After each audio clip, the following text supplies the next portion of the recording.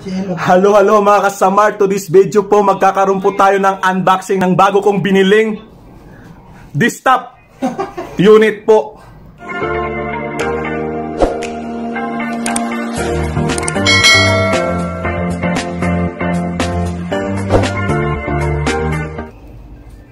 Hello guys, nandito tayo ngayon kay Summer Boy, no? Ito nga pala si Pamelenyos, bar na hindi naman kamahalan pero sigurado, satisfied na satisfied kayo.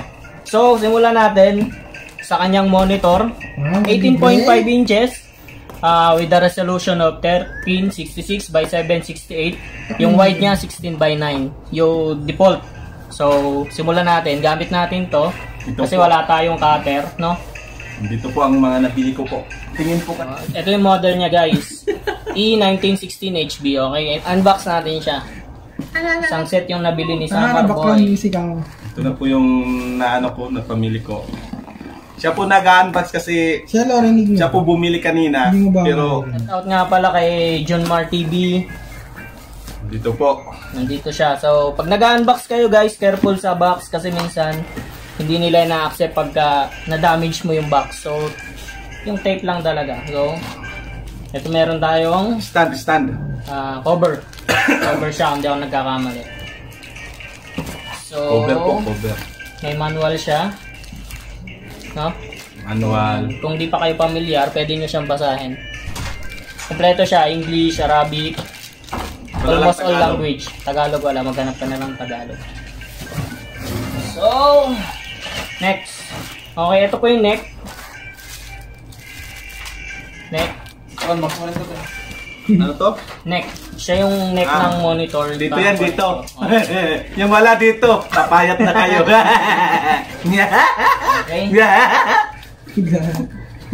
Adik, adik, adik. oh.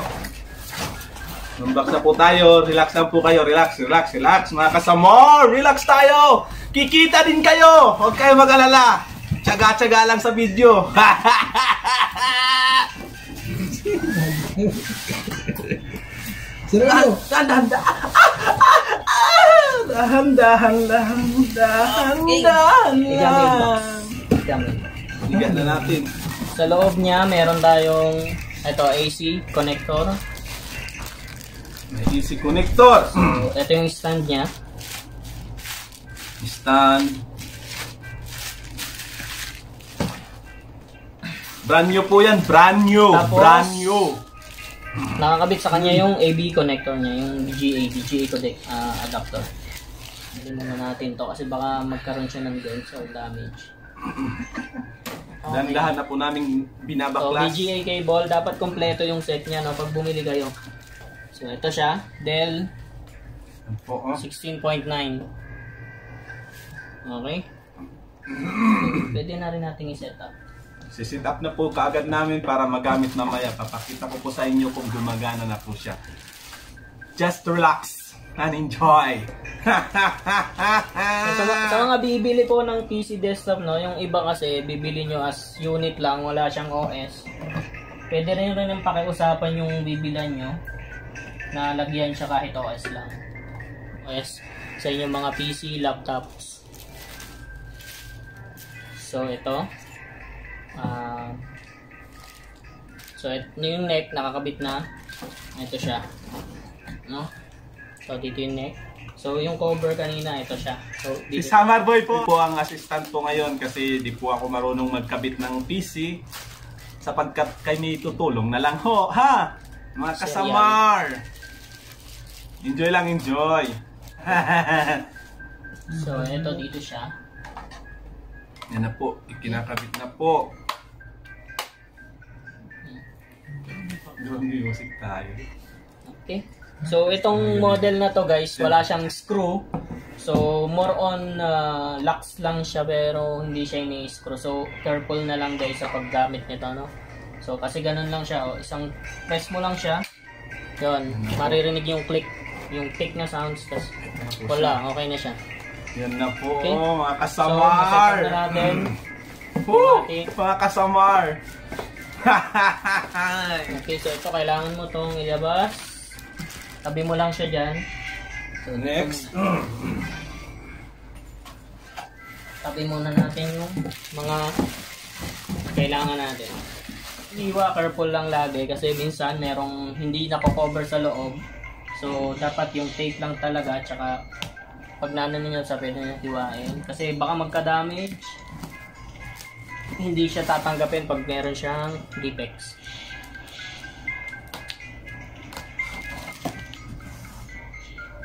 Makinig kayo sa mga guidelines. So, ayun na nga guys, nabuksan na natin. Sa loob niya, merong dalawang box pa. So, siya keyboard. Makikita natin yung, okay. So, maganda siya guys. Hindi siya ganun kaingay. Tsaka smooth siya. Hindi siya matigas, hindi rin siya malambot.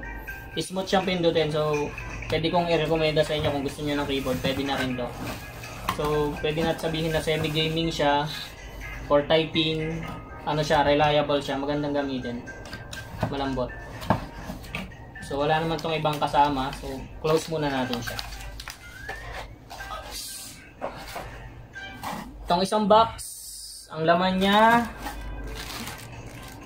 connector, power cable. Siyempre, mouse. Yung mouse niya ay Delden. Tsaka yung manual. Manual. Next. Siyempre, ang pinakaintay ng lahat, ang ating CPU, color black. Ilabas. Labas natin siya. So, nasan ba yung... Tulungan natin kasi hanggang doon na lang ang ating maitutulong ang hawakan ng box. Okay. Ayan na po. Lagyan mo muna siya guys. Bakit muna rin siya. Okay. So, ito yung ilalim niya. Bagong laban na pala eh. Ito na siya guys. Tanggalin natin yung styro niya. Styro, tanggalin kasi tagatanggal lang ako mga kasamar. Unang sound sa YouTube. Okay. Yan po. Kita niyo naman po. So, yung nakuha namin kanina, Core i3. Hindi ako. ah with 1 tera 8 sorry, storage. Tapos, ah, meron siyang 4 GB RAM na 4 GB na RAM.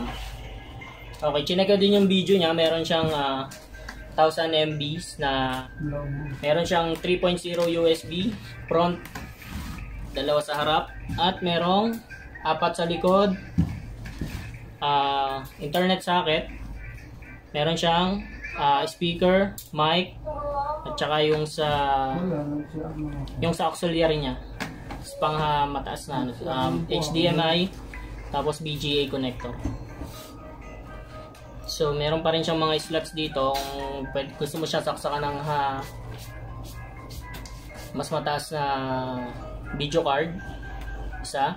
Tapos merong ah, high definition audio isa.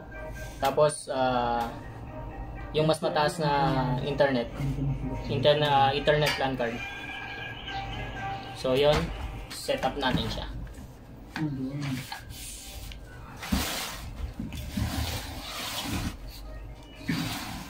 so sa harap niya guys meron pa rin palang isang slot para sa headset Ah, disk drive memory card reader Ayan, setup natin siya power cable para sa CPU. So sa ating power slot, isa is BGA. So tanggalin na natin para hindi na tayo magsusukat. Maya na lang natin i-adjust yung haba. Okay. So, okay. BGA. BGA slot. Teka, baliktad. Baliktarin mo yung camera.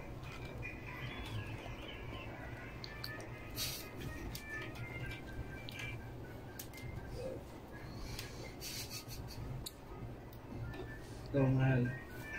At yan na nga po. Yan na, sinasabi. Nagsiset up na po sila. Kasi gagamitin na po namin mamaya pag live stream po namin.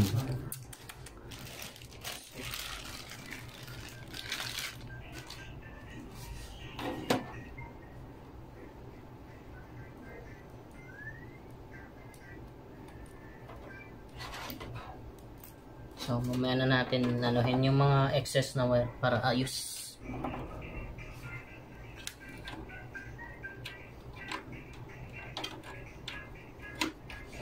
Okay.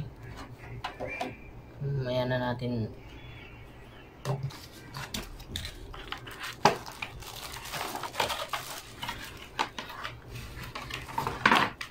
yung ating keyboard.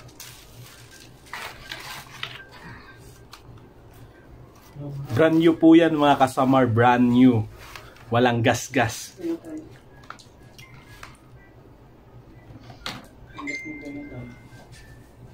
Maganda yung model ng keyboard na to. Meron siyang ah, ilang second function. Pwede mong gamitin. Halimbawa, magsa-search ka, second function, F9, yung sa music or movies, ito. Makikita nyo siya, may blue siya dyan, tapos may second function siya, both sides. Meron siyang sleep. So, kung aalis ka, may sleep siya. Automatic. Tapos, may FN lock din siya. So, which is, kung ako, hindi ko naman ginagamit yan. Okay. Next. So, wala pa siyang table. For the meantime, gamitin natin yung kanyang mga boxes. Mga barakos, ito muna yung gamitin natin kasi wala pa tayong available na table.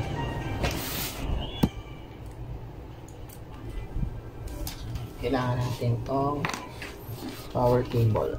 Power cable. Careful.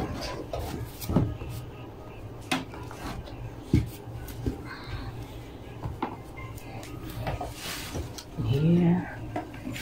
Tsaka yung ating BGA connector. So, dito siya. Kung ipipix nyo siya, pwede nyo siyang gamitin ng screw dito. So, hindi siya maglulus. Pero kung may plano kayang ilipat, kahit kamay lang mo. So, yun lang naman yung purpose. Okay. So, ito na. Tapos yung mga wire, ayusin natin. Pero first, ito-test natin yung system.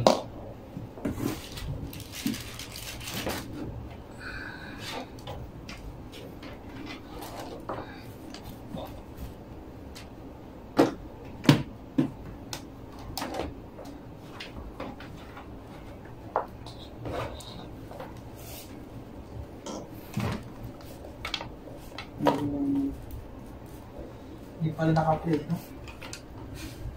Ano ako? So, Tapos labas tayo sa okay. So, nag-read na siya kanina. So, biglang pumasok na power. Okay natin. Ayan na po, gumagana na po siya. Mga kasamar! Unboxing, tsaka first run ng unit ni Samar Boy. Gumagana na siya. Ayan na po siya, mga kasamar. Yung display natin, paguhin natin counter. Mas maganda kung bagong-bago yung sa Mayguard. So, wala kang dapat problemahin. Sinisit up na po. 1366. Yung recommended niya, naka-maximum na siya. Pero yung sa display ng CPU natin, mataas yung hinihingi niya. Pero sa CPU, ito lang yung recommended. Hindi mo na siya pwedeng itaas. Yun na yung maximum niya. Okay. So, yung specs niya guys, Windows 10 Windows 10 Windows 10 Pro so ah, Core i3 8 Gen Core i3 8 generation so meron siyang processor na 3 GHz 3.6 so okay na rin siya tapos 4 4 gig yung RAM mo so pwede mo lang siyang baguhin sa settings kasi may an may usable ka pa na 2 gig So, sayang siya. So, isa-set up natin. Tatanggalin natin yan. Salamat po, salamat po, salamat. Yan po ang aking unang bili sa pagiging isang YouTuber po. Unang bili po, unang bili. Unang bili po. Salamat po sa panonood. Pero, it's a prank! Hindi po talaga sa akin yan. Sa kanya po talaga yan.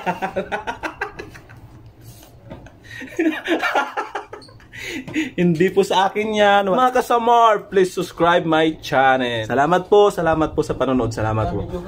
God bless you po.